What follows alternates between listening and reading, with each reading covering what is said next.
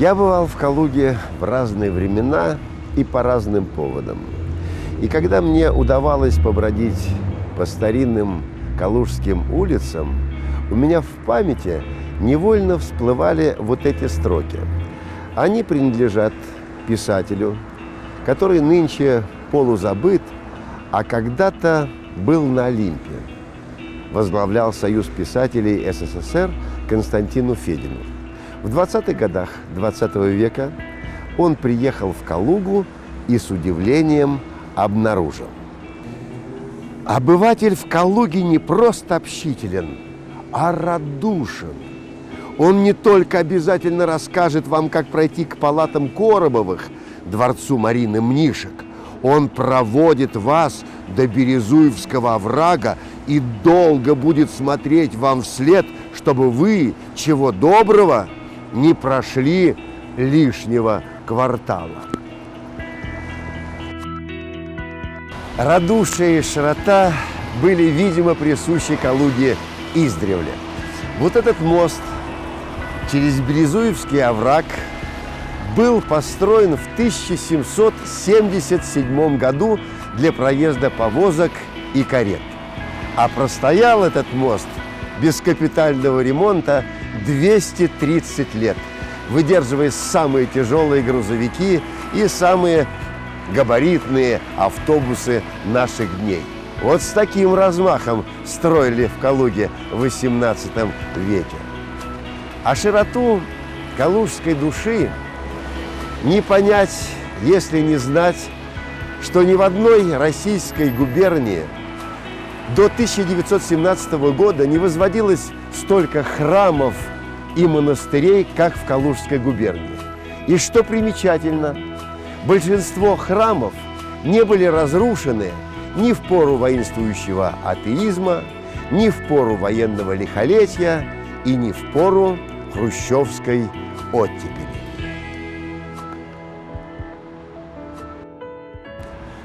Вот этот величественный Троицкий собор в Калуге вернул свой первозданный облик в очень короткие сроки. Также быстро восстановились Оптина пустынь в Калужской области и другие храмы и монастыри.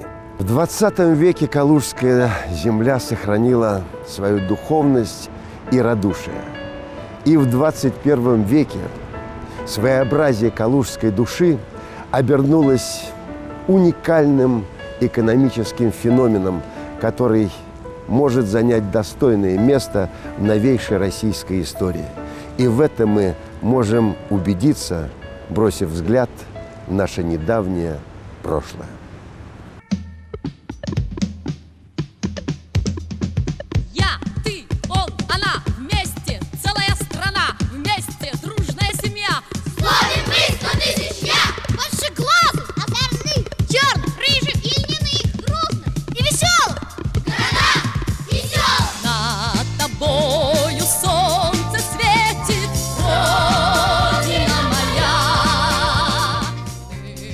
Рождение могучей русской экономики в 20 веке – это явление мистическое. Оно не поддается рациональному материалистическому объяснению. Магнитогорский металлургический комбинат. Уралмаш. Кузбасс. Ни кнутом, ни пряником немыслимо было побудить крестьянскую Русь к тем великим трудовым подвигам, которые совершались на великих стройках сталинских пятилеток. Гиганты новой индустрии в Советском Союзе возводились на энтузиазме, на идеалах служения Родине и грядущим поколениям. Но рывок страны от сахи к машине – стал возможен также и потому, что огромный подъем духа народа был сплавлен с самой передовой в мире научно-технической мысли.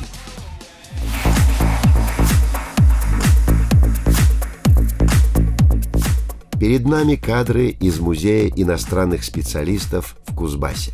В 30-е годы наша страна активно нанимала инженеров из США и Европы и активно закупала технологии за границей. Это потом они переплавятся в русском котле и станут русскими. После восстановления разрушенных войной городов и сел Экономика Советского Союза, где отечественный опыт хозяйствования органично сочетался с иностранным, развивалась самыми быстрыми темпами в мире. Но произошел сбой. Так давайте, товарищи, все сделаем, чтобы сегодняшнее наше хорошо, чтобы завтрашнее еще было лучше. При Хрущеве политика страны наполнилась абсурдом. Бездумно перекраивалось управление отраслями и территориями. Огромные средства были вбуханы в то, чтобы вспахать целинные земли и поднять там пыльные бури. Планы индустрии все меньше учитывали реальные потребности граждан. Но экономический потенциал страны по инерции сталинских времен по-прежнему наращивался. Мы строили, строили и строили. Братская ГЭС. Ивановский комвольный комбинат. Волгоградская ГЭС.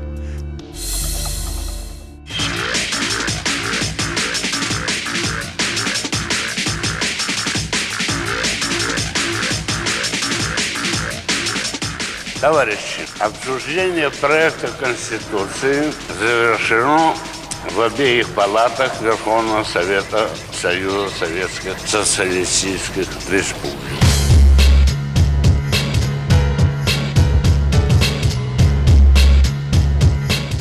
Политбюро эпохи Брежнева, покончив с экспериментами Хрущева, вернуло довоенную модель управления и почти на 20 лет законсервировало те социально-экономические отношения в стране, которые были при Сталине и которые сам Сталин в предсмертной своей книге «Экономические проблемы социализма» предлагал реформировать. Брежневская власть в упор не видела достижений научно-технической революции в капиталистических странах Запада и, в отличие от социалистического Китая, не давала ни малейшего продыха частной инициативе. Планы производства в Советском Союзе выполнялись и перевыполнялись, но планы верстались государством ради самих планов, а не ради того, в чем нуждались люди. Универмаги были забиты отечественной продукцией, а большинство граждан мечтали купить из-под полы импортные товары. Цены на продукты повышенного спроса держались на низком уровне и распределялись с черного хода. Престижным стало иметь блат, а не заслуги на работе. Стимулы к труду сводились к нулю, и страна постепенно скатывалась к тому, что дефицитом в ней стало все и вся.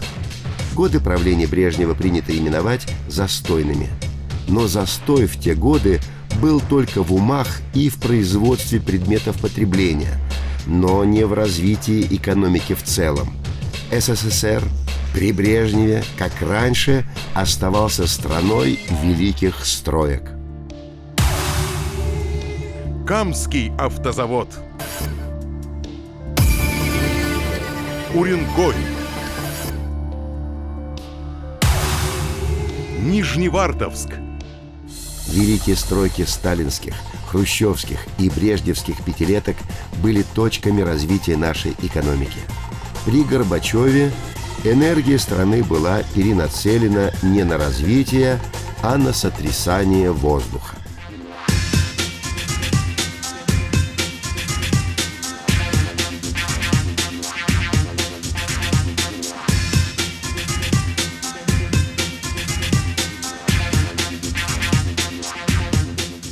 Стройки в перестройку вышли из моды. Приметой страны стали не столпотворения на стройплощадках, а толпы на митингах в Москве и других городах. Разговорами о перестройке страны от застоя к развитию власть заболтала развитие государственной экономики вообще и, разрешив кооперативы, совместные предприятия и частные банки, позволила взрасти на ее теле паразитическому финансовому капиталу. Застой в развитии всей экономики в целом наступил при Горбачеве, и именно этот полный застой привел и к распаду государства, и к расколу общества на богатых и бедных.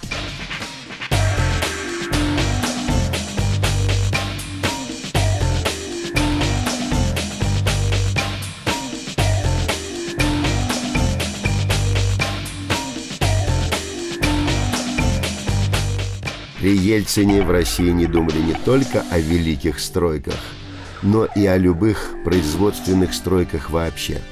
Власть и активное меньшинство общества были заняты исключительно дележкой. Дележкой всего того, что создано было народом до Горбачева. Дележкой сфер влияния в обществе и дележкой территории России.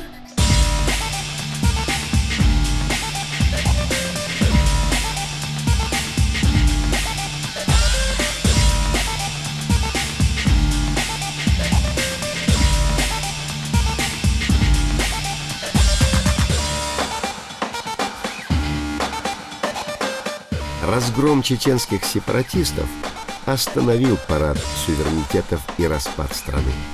Восстановлено единое правовое поле в стране, все законодательства в субъектах федерации приведены в соответствие с Конституцией России –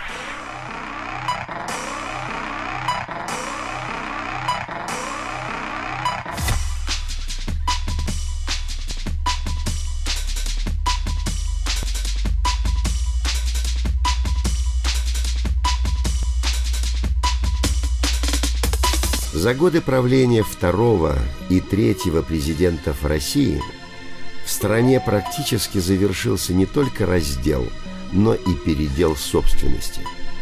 Мы давно уже не слышим о массовых кровавых разборках бандитов на предмет контроля над торговлей и недвижимостью. О войнах олигархов между собой теперь уже почти никто даже не вспоминает.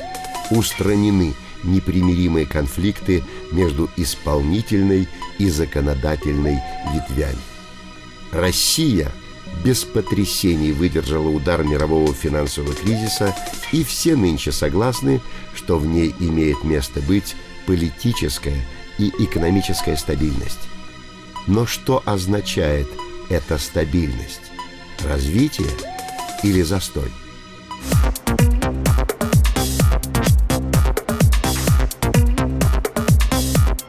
Среди пишущих и говорящих в разнобой мнений кто-то видит развитие, кто-то застой.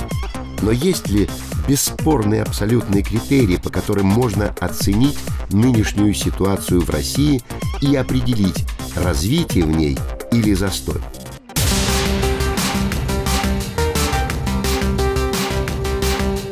В минувшем ноябре в Калуге проводил свое заседание клуб «Валдай» клуб, который объединяет ведущих экспертов по России из Америки, Европы, Китая, Индии и наиболее известных политологов нашей страны.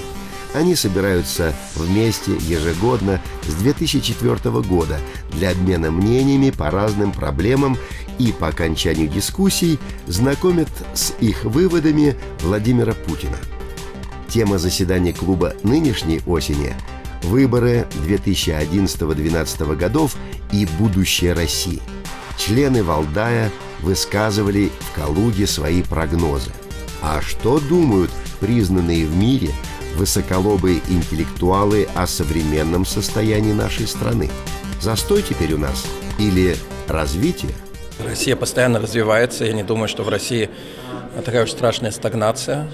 А, правда, люди, которые живут в России, ее критикуют э, очень сильно по очень простой причине, потому что эти люди, которые критикуют Россию, конечно, внутри, изнутри, они ожидают для своей страны э, лучшего. Россия в целом, безусловно, находится в глубоком застое.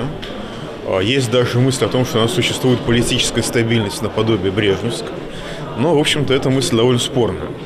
Есть определенное развитие, но оно недостаточное, чтобы адекватно ответить на стратегические и глобальные вызовы. И поэтому сегодня требуется определенный прорыв.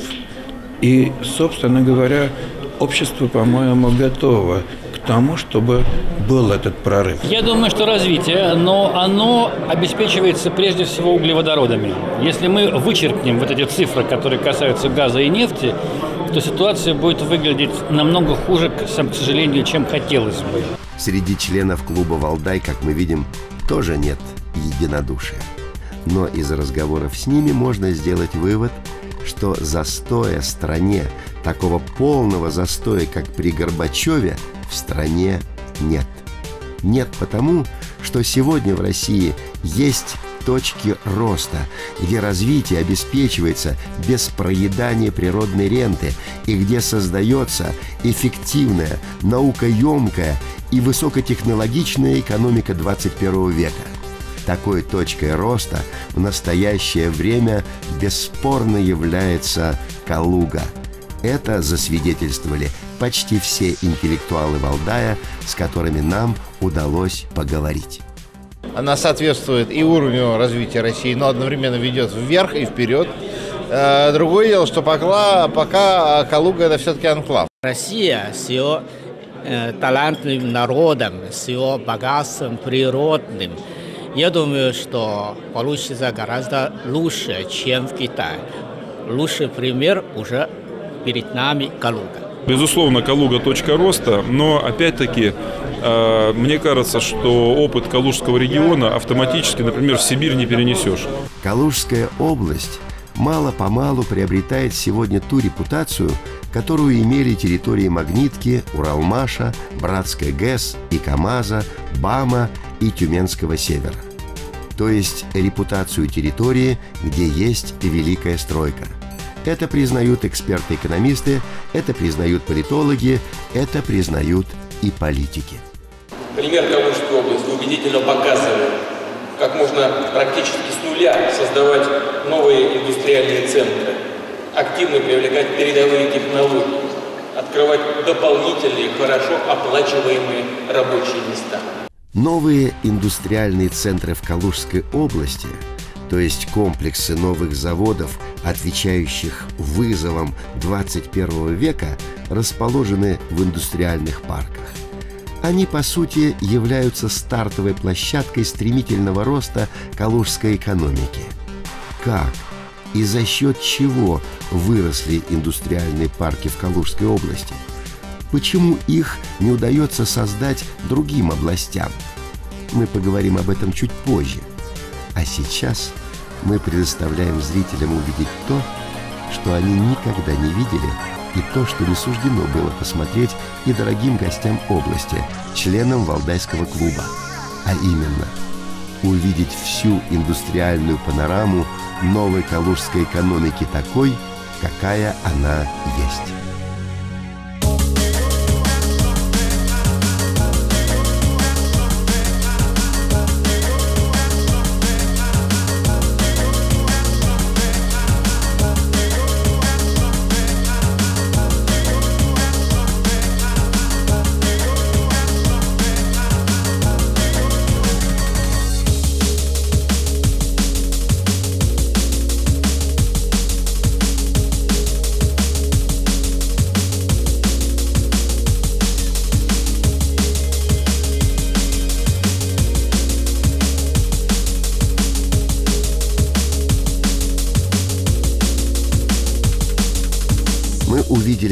Калужские предприятия с воздуха. Теперь видим их с земли, снаружи и изнутри. В этих телевизионных картинках отражена производственная деятельность. Но не только. Эти картинки – убедительные свидетельства того, что в Калуге зарождается тот новый технологический уклад, который влечет за собой перемены в укладе жизни нашего общества. В Калужской области создается современное производство, автоматизированные линии – и это останется в Калужской области. Формируется новый класс рабочих, новый класс инженеров, которые э, имеют совершенно другое мышление. И это потенциал Калужской области, который останется здесь и будет развиваться. Я считаю, что бизнес будет развиваться дальше. Э, просто нужно э, реально смотреть на вещи и немножко вспомнить историю, вспомнить те 90-е, как э, жил народ, как жила страна и как живет сейчас. И реально сейчас люди живут намного лучше. Первое время мне казалось, что я попал какой-то вот, э, в какой-то сон. То есть ты обращаешься э, к чиновникам по различным поручениям, э, тебе дают неформальные ответы и неформальные советы, а конкретно помогают. За пять лет в индустриальных парках Калужской области создано около 10 тысяч новых рабочих мест. Еще около 6 тысяч появились на предприятиях, открытых вне индустриальных парков. По заработной плате в Центральной России Калужская область опережает все другие субъекты федерации, кроме Москвы и Подмосковья. Огромное количество калужан получили возможность реализовать себя на малой родине. Это мой родной город. Ну, я хочу работать здесь. Я надеюсь, наш город будет развиваться дальше. Будут все условия для дальнейшей жизни, семьи моей, для создания семьи. Ну, работы, конечно, чтобы зарплата росла. Если все это будет, то я даже не буду думать никуда уезжать отсюда. Я на маркетолога вообще учился. Сперва надо узнать производство, чтобы его потом э, делать анализ на рынке, чтобы его в, в, в итоге продавать. Надо сперва узнать его с самого низу, как он производится, из чего производится. Был соблазн, но здесь я так прижился, вроде уже как добился многого. Знакомый с коллективом, просто не хотелось ходить, потому что зарплата была, в принципе, такая. А на данный момент я считаю, что зарплата там даже ниже, чем здесь. Даже так. Поэтому соблазн отпал сам собой. Думаю, что если такие же темпы развития нашей области сохранятся, это все-таки э, будет привлекать людей. Потому что если едут из других областей к нам, значит, видимо, это очень хорошо. Для них, видимо. А для нас уже очевидно, что э, перспектива развития есть. А зачем нам ехать куда-то в город, где-то искать, если у нас здесь вот она работа? Сегодня молодежь ценит не только зарплату, сегодня молодежь ценит и интересную работу, и, безусловно, она ценит общие условия, общие условия жизни. Когда где-то с нуля возникают новые масштабные производства, то, как правило, возникают проблемы у традиционных производств конкретной территории. Удалось ли ужиться новой калужской экономике, сдействовавшей в области? Гордость индустрии Советского Союза – Калужский турбинный завод и сегодня выпускает мирового уровня качества турбины для подводных лодок и тепловых электростанций – Обнинская НПО «Технология» как успешно работала, так успешно работает на космос, авиацию и ракетный щит страны. Калужский электромеханический завод продолжает выполнять оборонные заказы, но этим не ограничивается. Завод производит товары народного потребления – это позволяет чувствовать пульс рынка и в планах предприятия существенно увеличить объем продукции именно этого направления. Предприятия традиционные создавали имя региону в прошлом и в настоящем. Они есть на карте Калужской области. Они выжили. С появлением новых производств, конечно, борьба за каждого человека, который может прийти э, и стать сесть за компьютер да, или стать за станок, конечно, она становится жестче. Возрождаться может тот, кто как бы погиб. Да? Мы, мы живы, мы работаем, мы достаточно после кризиса успешно развиваемся.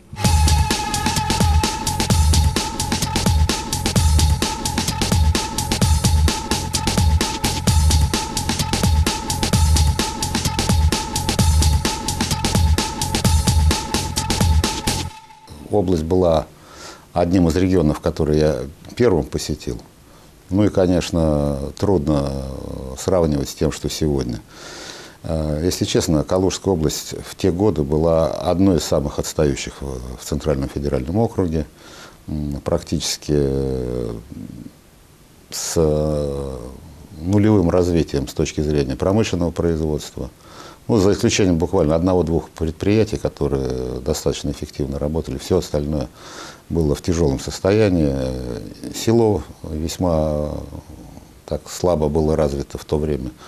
Поэтому, если честно, когда я вот первый раз туда приехал, думал, что это будет э, самым, одним из самых проблемных регионов на который мне придется обращать как можно больше внимания.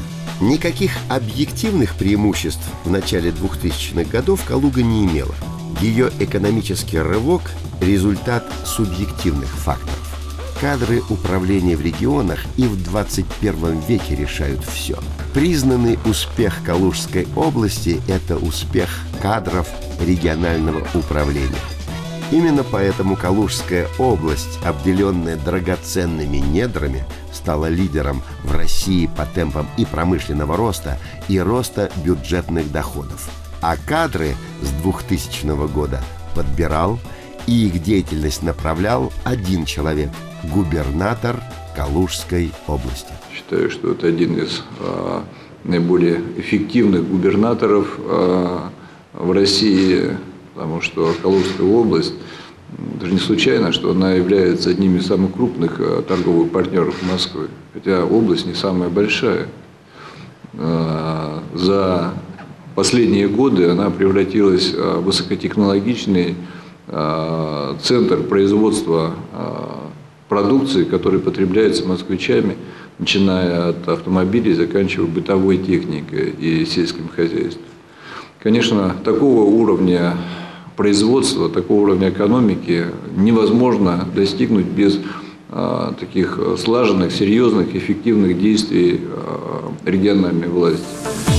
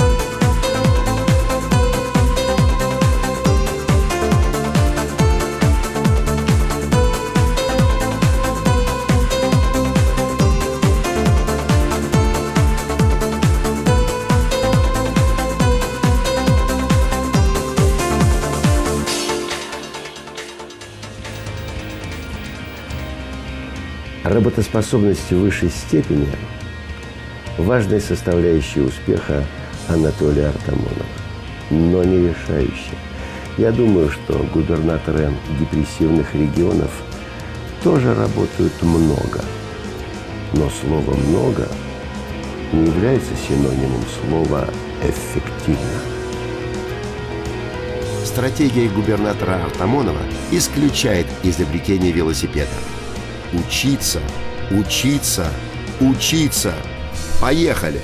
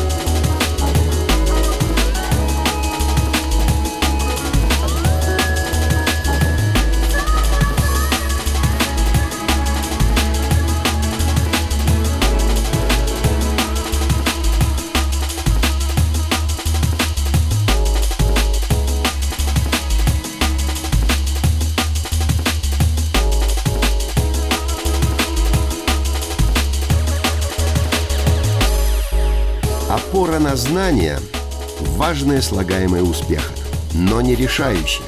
А какое же решающее? Умение рисковать.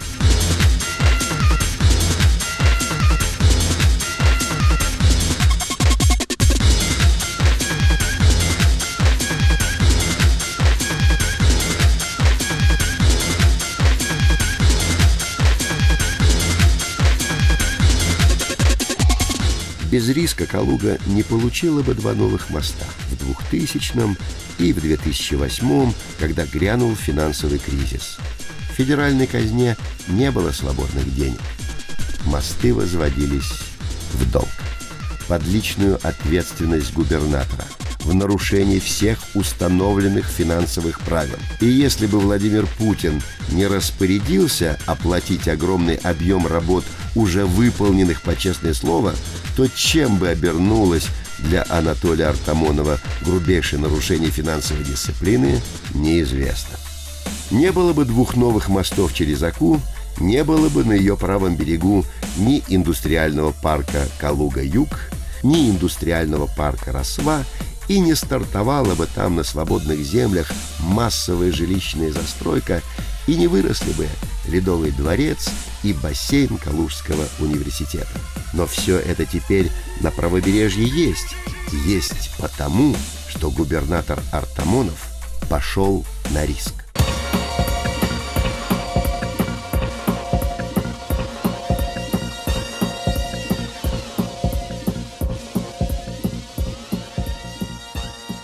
Приход в Калугу якорного инвестора Volkswagen, за которым потянулись многие другие инвесторы, производящие автокомплектующие, также результат риска. А кто мог знать, бросит Volkswagen якорь в Калуге или нет?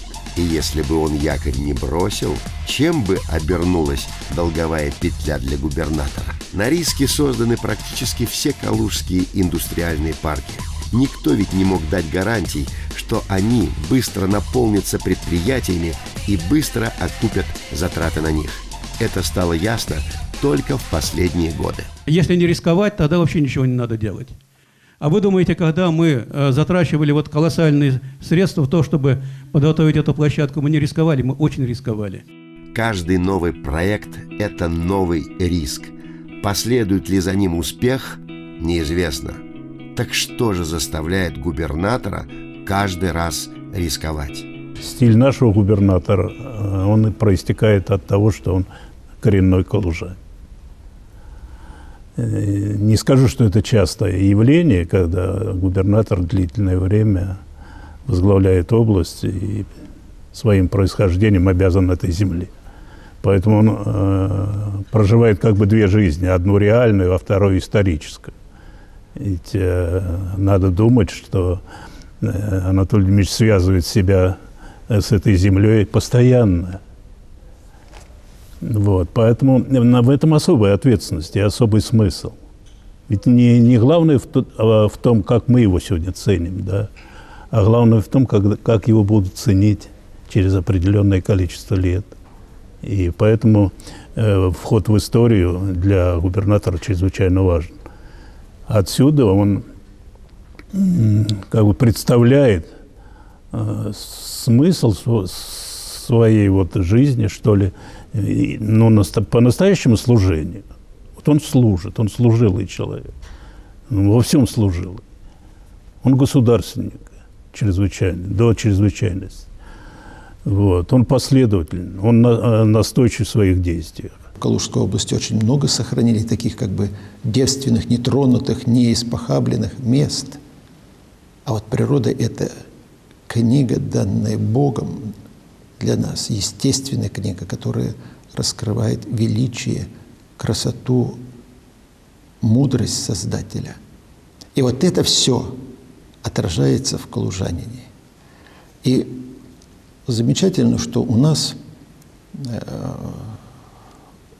руководство области, оно ведь из местных, из калужан – оно любит свою землю, свой дом, свою, свою родину и отдает все силы, чтобы вот именно служить. Вот это я скажу, служить народу. Вот это я скажу и является основной особенностью э, всех, кого я здесь встречаю, руководителей.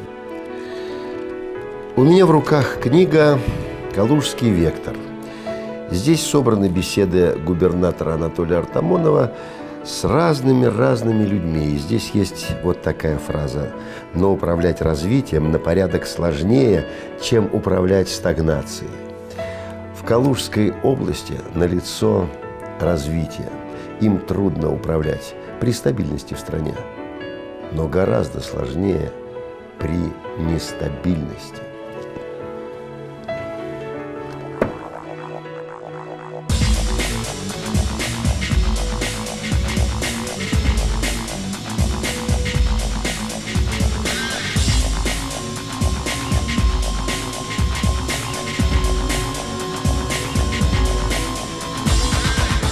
России сегодня пока все спокойно. Беспокойно в мире. А наша экономика в 21 веке стала частью экономики мировой. И испытав катастрофу по внутренним причинам, мы можем столкнуться с ней опять по причинам внешним. И как же важно теперь не шарахаться, сохранить то, что мы имеем. Как нужно, чтобы было согласие внутри народа и единство народа с теми лидерами, которые готовы рисковать ради дела, а не ради властных амбиций, славы, денег. Нам не надо опускать руки, а надо смело идти вперед. С верой и любовью идти изо дня в день по пути строительства России. Развитие своей духовности, развитие в сердце каждого человека любви к Богу, к Родине, к ближним. Если мы все вместе будем, объединимся и с верой, с любовью и с ответственностью подходить к каждому дню нашему, который мы проживаем, что, чтобы он приносил пользу для каждого из нас. В этом будет успех России. Мы получили тяжелое наследство 90-х годов 20 века. Мы медленно, но уверенно с ним прощаемся. Но нам нужно быть готовым к новым испытаниям.